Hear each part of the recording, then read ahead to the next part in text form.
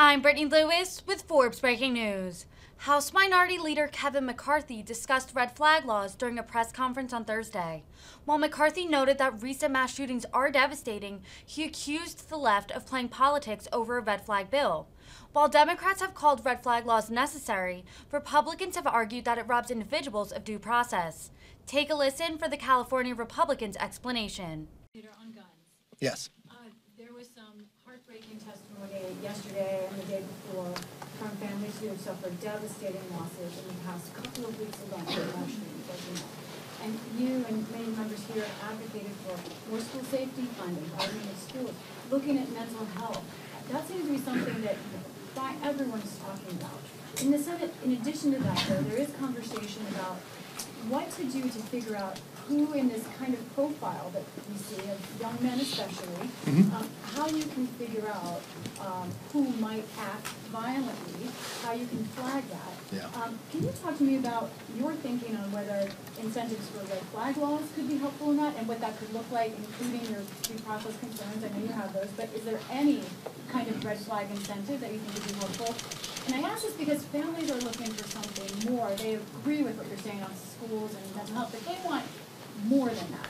And what are you willing to do? I, I don't that's think, more it- than that? I just don't think family, I have a family too. I think everybody in America wants this. I think the devastation we're seeing is horrendous. I, I actually wish the House would do exactly what the Senate, to sit down and have a discussion. We were back in session on Tuesday at six-thirty and we voted on bills on Wednesday. It's the same thing like the committee. It was a political show. Why would you bring up a red flag bill and not bring anything about due process?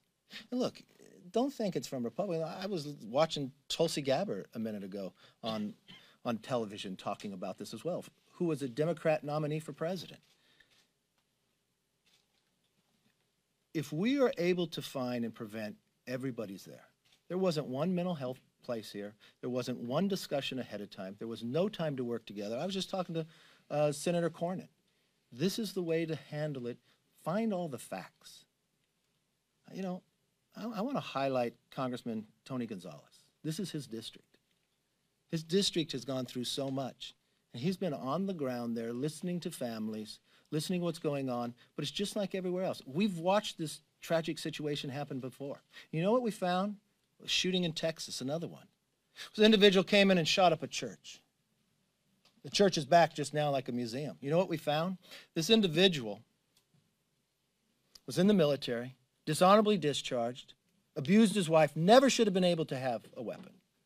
And when we were in the majority, finding those facts, we passed the Fix NICS to make sure that would be on the record. There is a way to go about doing this, and that's sitting down, making sure you're dealing with all the issues at once instead of playing a political game. And unfortunately, that's what Nancy Pelosi chose. And I know from that same point, this is the same speaker that told us the Supreme Court is safe this weekend, but they weren't safe yesterday. And she has a bill on the floor right now that 100% senators voted for that she wouldn't bring. Yes, sir, back there. Yes. Would you say